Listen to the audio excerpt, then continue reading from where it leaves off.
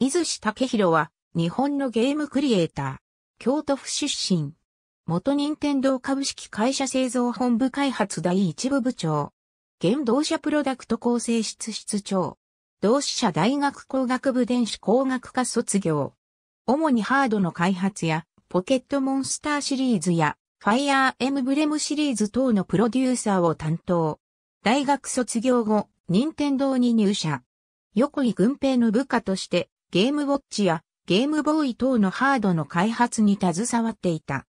1996年、横井の退社後、開発第一部の部長に就任する。以後、プロダクト構成室室長に移動するまでの間多くのゲームの制作を担当した。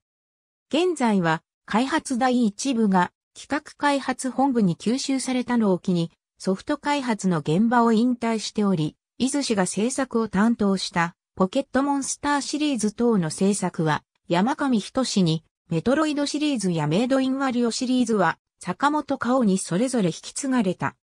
ゲームボーイポケットの開発の際、当時通信機能を軽視していた、伊豆氏だったが、もしなくしていれば、ポケモンの交換もできなかったわけで、田尻聡さんにどうお詫びしたらいいやら、と、インタビューで、冗談交じりに語った。ありがとうございます。